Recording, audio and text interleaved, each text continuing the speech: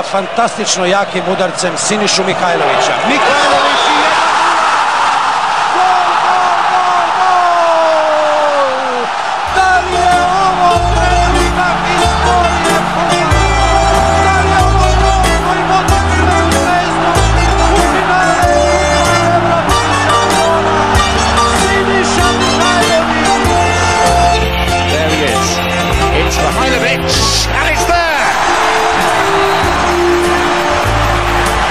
is a true world-class expert.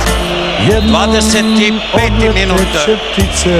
Odlična prilika 1-1. Siniša Mihajlović. Još jednom dobar centar šut, još jednom. Ispratit će I ženu 2-1.